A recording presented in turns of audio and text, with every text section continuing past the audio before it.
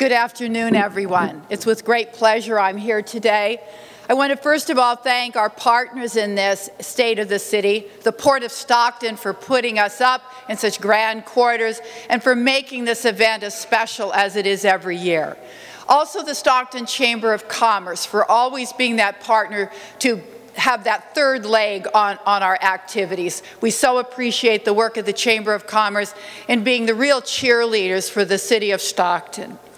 At this time, I'd like to introduce the team that I serve with on the City Council, uh, because without a team approach, we wouldn't be accomplishing anything during these very difficult times. So I'd like my fellow council members to please stand up all at once, if you would. I'd like to recognize the Vice Mayor, Kathy Miller, Councilmember Susan Eggman, Councilmember Paul Canepa, Councilmember Diana Lowery, Councilmember Elbert Holman, and Councilmember Dale Fritchen. This is the team, ladies and gentlemen.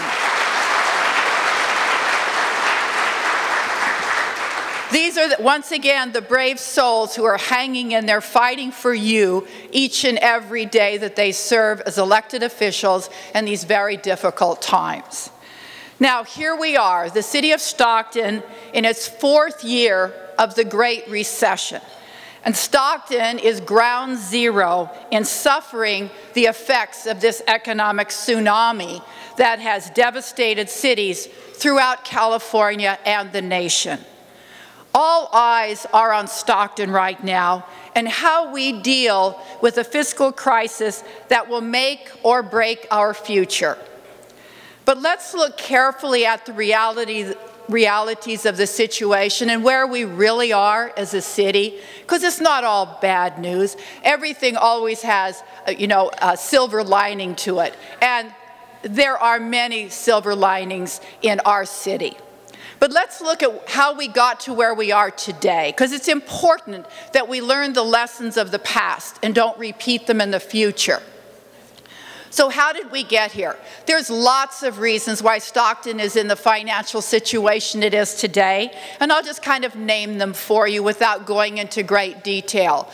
There's plenty of them to go around. Number one, we have unsustainable retiree health benefits that are choking us now and in the future to the tune of $417 million.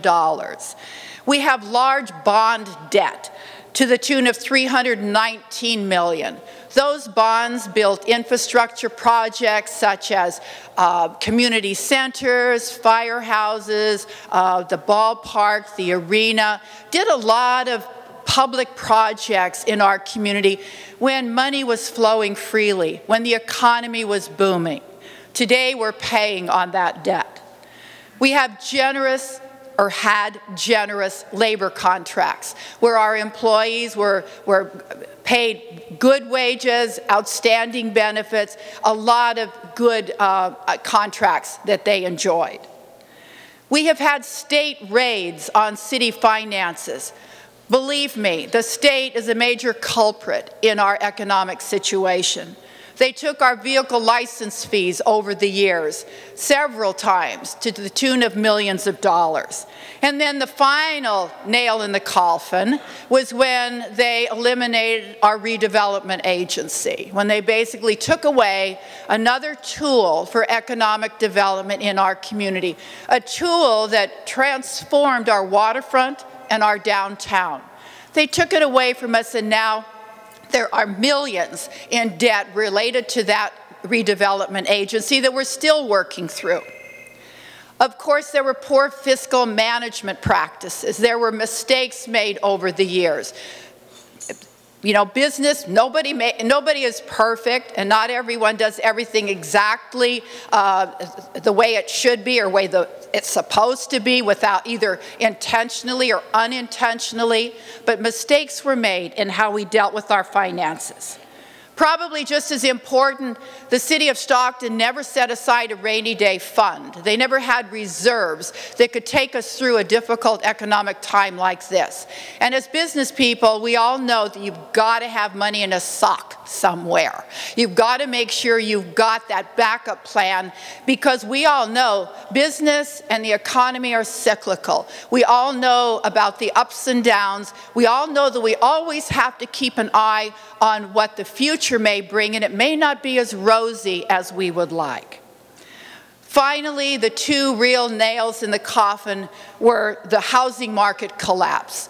When in 2007, we were building 3,000 homes in this community, last year it was 150. That was a huge economic slap to our, our basic finances in the city, made a huge difference. And of course, the Valley recession came in and again hammered us significantly. As part of the Central Valley, we know our economies always struggle with high unemployment. We always struggle with these issues related to the nature of our economy here.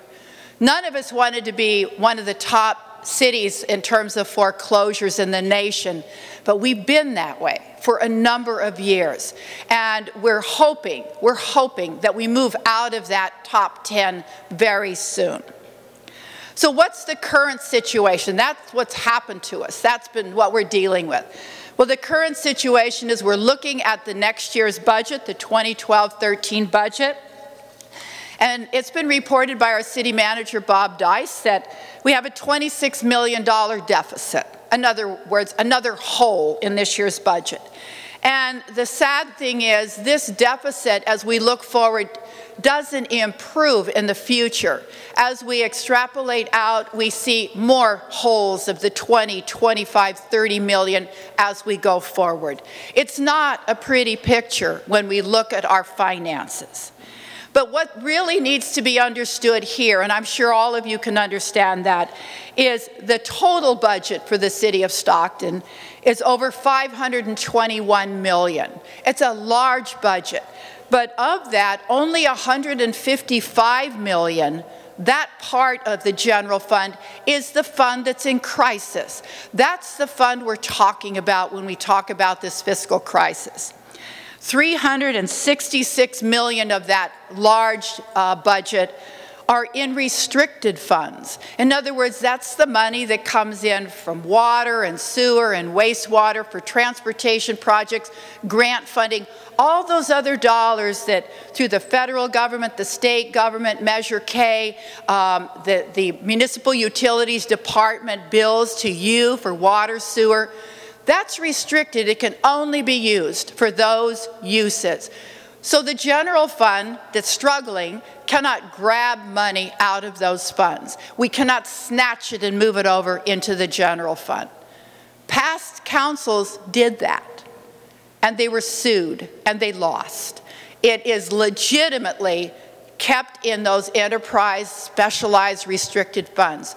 So a lot, all, a lot of this construction work that's going on that you're seeing will continue to go on because again, those are restricted funds. So what about in general? We have cut our budget, that general fund budget, 90 million in the last three years. And people will say, well, why don't you just pass, you know, sales tax? The fact is we cannot tax our way out of this. There will, you would never want to pay the amount of taxes we would need to get out of this hole we're in right now. What really we need to do is change the way we run the city. We need to change the structure of how we do things, and that's what we're looking at. We know that a Band-Aid approach will no longer work. We have to do radical surgery to cure this patient in that general fund. Now, the general fund, as many of you know, supports the most visible services in our community. The public safety, police, fire, libraries, community centers, the things that you depend upon the most. That's why we're so concerned about the state of our finances right now. Top, on top of all that, the city must balance a budget by July 1st. That is our requirement by the charter, by the state of California. We have to balance a budget. We, unlike the federal government, can't run on deficits, we can't print money, we have to balance our budget, which means we have to do like you do every day of the year. Live within our revenue, live within our means, figure out how we're going to pay our bills, how we're going to bring in more revenue. Well, we have to balance this budget by July 31st, or July 1st, and we have, you know, we're up against a wall right now in terms of what we do. We have three options, three options that have been reported, but it's important that you know what those options are. One, we could do additional cuts. We could make more cuts to city staff, to police, to fire, to everybody. We don't want to do that. That is not where we want to go. We feel we've cut plenty. We've cut enough. We have to maintain the safety of the public. So additional cuts would be absolutely, as far as I'm concerned, off the table in terms of those public safety officials. We have the other alternative, other than additional cuts this year, and many of you know we've cut you know, many police uh, officers from our, from our police department over the last three years, and we've cut the fire department. The second option that we have would be do, to do a successful financial restructure. And that's what we're involved in right now through the AB 506 mediation process. We are involved in confidential mediation uh, meetings with our creditors, whether they be unions or bondholders, anybody we owe money to as we look forward. We're talking to them with the help of a, of a neutral mediator to figure out if they will come to a settlement outside of bankruptcy that will get us a solid financial footing as we go forward. This is a new law we're following. AB 506 was just passed last year. We're one of two cities in California that is in the middle of this process. Mammoth Lakes is the other one. They're too struggling with their finances. So we're in the middle of this AB 506 process. And we are hopeful that we can come to a settlement that will in fact get us a solid future. It really depends upon the players at the table. I can't predict, we have no idea, but we're de devoting time and energy and resources and money to make sure that this process succeeds. Mediation is truly our last and best chance to avoid bankruptcy, and we do not want to go into bankruptcy. We're avoiding that is our goal. We'll do everything we can to avoid bankruptcy. In the meantime, put aside all this gloom. We're still very much in the business mode. We have aggressive plans in the city. In the Community Development Department, we're re-engineering the department to be more business friendly, more customer friendly, so that when folks like you come in, the Community Development Department will solve your problems, help you find solutions, help you get back on the road to do what you need to do to make money. And businesses are locating here. Every month I sign letters welcoming new businesses, most of them small business, to our community. Over a hundred every month are taking out business licenses and, and locating here. That's really good news for us. We also right now have the Delta Water Supply Project that is, that is going to bring a reliable source of water to our community that's going to allow us to stop tapping the groundwater, that's going to provide for our growth in the future. That's a $200 million public works project, the largest in the history of Stockton, and we are going to be dedicating it later this month. Many communities would be envious of the water that we have and the supplies that we have.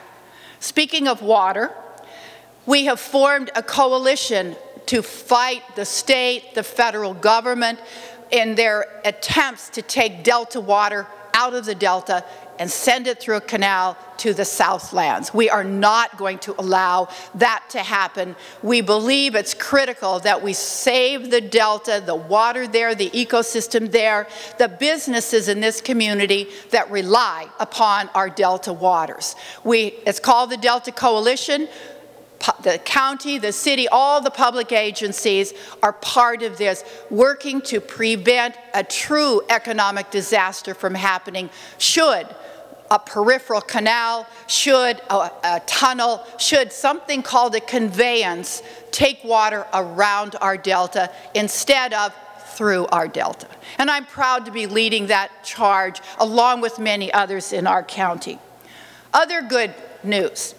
The Arch Sperry Road and French Camp I-5 interchanges are beginning to be constructed. That's a huge infrastructure project that's going to connect 99 Highway with Interstate 5 and going to really open up South Stockton for economic development. It's been long in coming, a lot of planning, many years, but that is happening. Other excellent news is the state of California is building their prison medical facility out on Arch Road. They are pumping almost a billion dollars into our area's economy.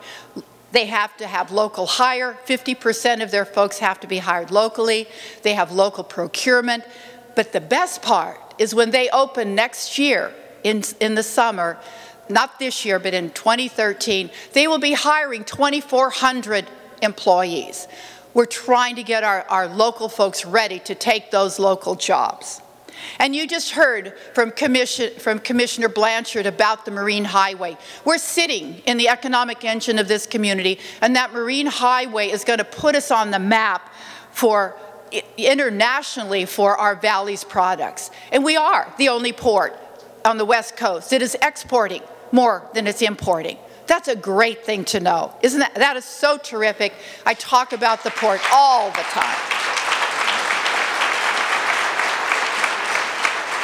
So you see, we have a future. We have things going on out there that are bubbling and moving and going. Now, the other serious issue in our community is crime. And we have had an increase in violent crime. We know it's on the rise. Most of it is a result of lifestyle choices, of people being involved in gangs or drugs or prostitution, those kinds of things. But our level of crime is unacceptable. We have to stop this, and we are stopping this. And when you have this kind of high level of crime, you need a high level of commitment. And we are committed to cracking down on the criminals that terrorize our people. So what are we doing? Most importantly, we, the police department, the city, is developing partnerships with all our law enforcement partners in the county, the state, the federal government. We're using every resource out there that we can to address this very serious issue.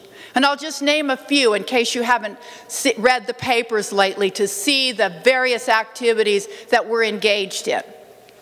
The U.S. Marshals Fugitive Task Force has been working with the police department for a number of months, and they have a top 10 list of the top worst criminals in this city. Well, I'm happy to announce they've arrested 13 of those top 10. they keep adding people to the list, remember? Is that good? The list in our community is a long list. So they, they can keep working for a long time, moving people up to that top 10. And my hope is they stay here a long time working with our police department. We received a COPS grant, a community-oriented policing grant of $8 million just last fall to hire 17 more police officers in our city. We currently are hiring. We've got 20 vacancies. Our new chief, Eric Jones, has been on the job for several months now and is doing a dynamite job of really focusing on what needs to happen in our neighborhoods. He's saying...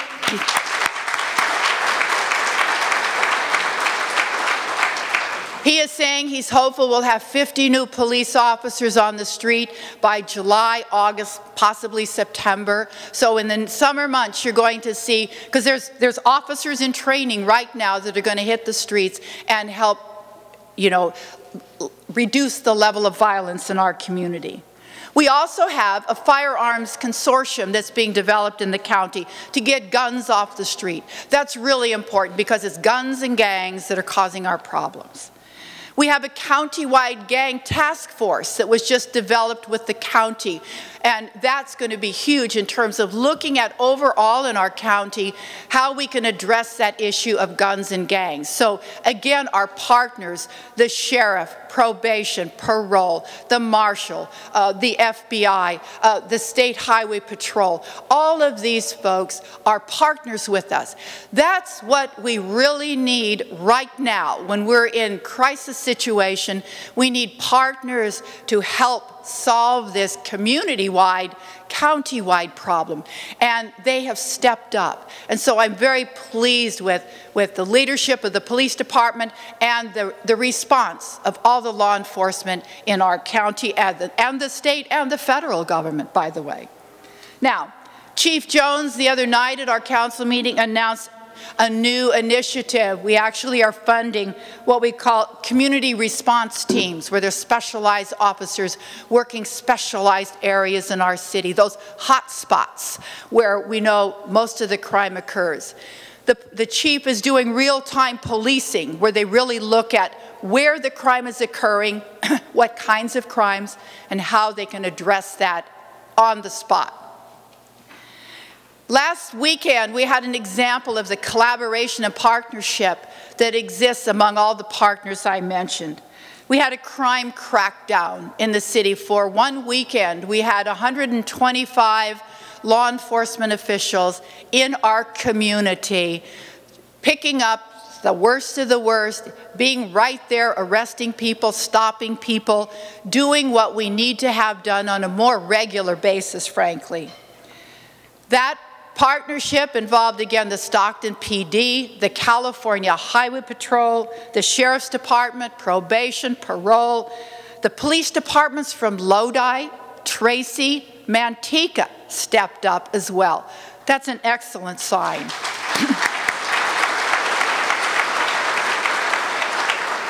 We had FBI agents, we had AFT agents, we had U.S. Marshals, we had all the resources, the big guns of law enforcement. They were here in our community, and many of them will continue to be here. What were the results of that crime crackdown last weekend? We had 101 arrests, 87 probation and parole searches, 17 firearms were confiscated, and there were 685 traffic stops. Now you think traffic stops, but let me tell you, traffic stops are the first line of defense in a community because those traffic stops can yield the visible guns, visible drugs, they can, they can be checked for parole, for probation. The Highway Patrol is outstanding in leadership and making a lot of those traffic stops. They are a real partner. We asked them last fall if they could help us, and they have responded in spades. So special thanks to them as well. Now, we're also working with the Marshall Plan Steering Committee. We've got all the partners again coming together to meet to look at a long-range, comprehensive plan to address crime in our community. And they're going to look at what works and what doesn't work based upon best practices and what they learned from other communities. We've had one meeting, we're meeting again tomorrow. It's an outstanding group who are on point when it comes to looking at solving this crime situation that frankly, as you know, has existed for a long time in our community. Our community partners are stepping up to help us in, in reducing crime and preventing it. The Downtown Alliance is going to be funding bike patrols in the downtown again. Yay for the Alliance. That is terrific. The Miracle Mile Improvement District is putting more money towards security in the Mile area, along with the University of the Pacific, who is an outstanding partner in recognizing their role in making our community safe. Neighborhood watches are being formed right and left throughout the city because neighbors, Stocktonians all, stepping up and saying, what can we do? How can we make our city safer? They're stepping up, forming neighborhood watches, getting to know the people who live in the neighborhood. And they're becoming the eyes and ears of the police department. They're now able to text tip things that they see. They can do online reporting.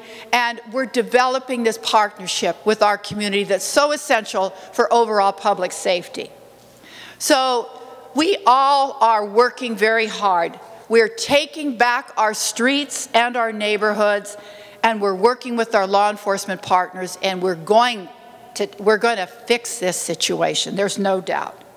The City Council and I will not compromise the safety of our citizens or put our citizens at risk. That's why we're so concerned about our budget issues and how we work through them so that we make sure we have the public safety officials out in the community to protect businesses and property and persons alike. Our city's future really depends upon the safety of our citizens, and it's the yardstick by which our community is judged and we will not fail you. We will make sure that we turn this situation around. Again, we're grateful. We're so grateful for the partnerships that have stepped up to help us in this situation. This is a time of scarce resources for all agencies, public and private. And to have people come to the table and offer what they can and make good on it is an indication of the level of, of importance that they give to this and how they are focused and committed and in this community for good. And you all, of course, have done your share as well. The mere fact that you're here, staying in business, working hard, promoting Stockton, and keeping the home fires burning is important because we're all going to come out of this, but we need everyone to be together in that process. So, in conclusion, this has been a difficult year for all of us with tough decisions. The City Council has made extremely tough decisions, and we're going to see even tougher decisions ahead of us. The fixes to our financial issues will not be pretty, but we're determined to come out of this with the city on a solid financial foundation that will move Stockton forward. That's what we're about, is moving Stockton forward, keeping our eye on the ball out there but we have to make some tough decisions between now and the ball to make sure that we actually have that solid foundation that we so desperately needed. Now, you all know we inherited a mess. We truly inherited a mess when we were elected to the City Council. But we're not whining, you know, because the Council and I are problem solvers. We intend to fix the problems that are dragging the city down. We really are your fixers. We're going to fix it. It's going to be long and probably painful, but we will fix it. Whenever we've been given complete and accurate information, we've made the difficult and courageous decisions needed to get our city back on track. Unlike the federal government and unlike the state government, we do have a plan to move our city forward and we're going to solve those problems that threaten to sink us. So keep the faith. It's important that we all do our jobs well, extra well, as we go through these tough times. We may be ground zero, it seems like, in economic terms. We may be fighting a battle with the criminals in our community. We may be facing greater challenges in the months to come and I predict we will face them. But like the mythical, mythical phoenix, we will rise from the ashes to soar once again and again. Stockton will and will be always a great city, and it's because of people like you who are invested in this community. So when all of this is said and done, I hope next year I'll be here to give you even better news about how, where we are and what we're doing. When we come out of this, ladies and gentlemen, we will be stronger, we will be smarter, we will survive. We are Stockton. Thank you.